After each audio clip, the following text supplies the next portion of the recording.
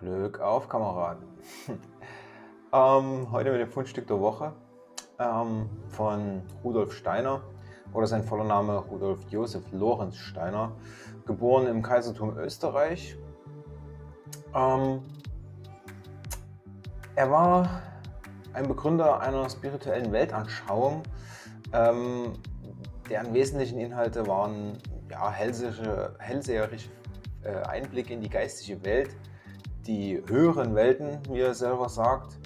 Ähm, er verarbeitete am Anfang viele Konzepte und Ideen der allgemeinen Theosophie, ähm, setzte sich dann später mit dem Okkultismus auseinander, aber mit dem westlich geprägten Okkultismus. Was das genau ist, keine Ahnung.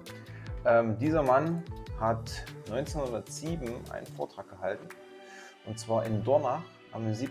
Oktober 1917. Äh, ähm, ist ein bisschen mehr als 100 Jahre her, ja. Und da hat er Folgendes gesagt. Ich übersetze das mal für euch ähm, und werde dann eine deutsche Version, mal sehen, ob ich noch eine finden, finde, ähm, unten in die Videobeschreibung packen. In der Zukunft werden wir die Seele mit Medizin beseitigen, unter dem Vorwand einer gesunden Sichtweise wird es einen Impfstoff geben, mit dem der menschliche Körper so schnell wie möglich direkt bei der Geburt behandelt wird, damit der Mensch den Gedanken an die Existenz von Seele und Geist nicht entwickeln kann. Also ähm, schon mal der Anfang ist hart und erinnert doch an, äh, uns an irgendwas. Ne? Ähm, gehen wir mal weiter. Materialistischen Ärzten wird die Aufgabe betraut, die Seele der Menschheit zu entfernen. Okay.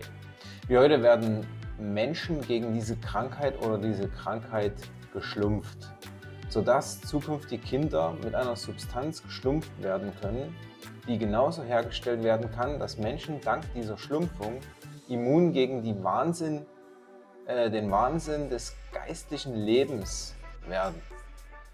Es wäre extrem schlau, aber er würde kein, er wäre extrem schlau, Entschuldigung, aber er würde kein Gewissen entwickeln.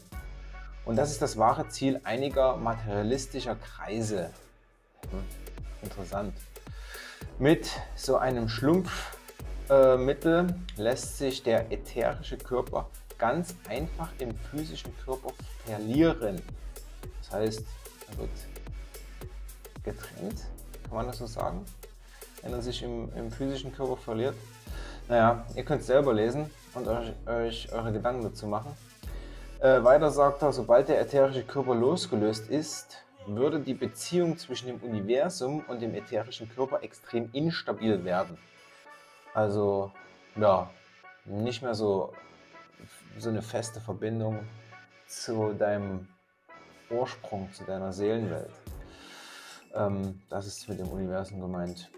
Und die Mensch und der Mensch würde zum Automaton werden, also zu einer Maschine. Ähm, das habe ich schon mal gehört. Ähm, siehe Implantate, Bioroboter, ähm, alles dacht, dachte ich zumindest alles eher neue Ideen, aber äh, wie ich schon in, manchen, in vielen Sachen festgestellt habe, so neu ist es gar nicht. Man muss sich nur mal Westworld angucken. Ich glaube, es ist näher an der Realität, als man meinen mag. Ähm, ja, denn der physische Körper des Menschen muss durch spirituellen Willen auf dieser Erde poliert werden. Der, das Schlumpfmittel wird also zu einer Art Arimanik-Kraft. Der Mensch kann sich nicht mehr von einem bestimmten materialistischen Gefühl befreien. Ähm, irgendwie haben wir das schon, oder? Also manche Menschen, wenn ich das sehe, hier Black Friday in, in Amerika, werden sie sich da ums neueste iPad kloppen oder irgendwas. Ähm, ja, er wird materialistisch für Verfassung und kann sich nicht mehr dem Geistigen erheben. Ja, Rudolf Steiner, 1861 bis 1925 hat er gelebt. Sowas wurde vor 100 Jahren gesagt. Ähm, wo hat er die Information her? Ist er wirklicher Hellseher und wusste, was heutzutage passiert? Oder war er in Kreisen unterwegs, die das damals schon geplant hatten? Oder ist es einfach nur völliger Quatsch? Ähm, ich bin mir nicht sicher. Lasst es auf euch wirken. Bis bald.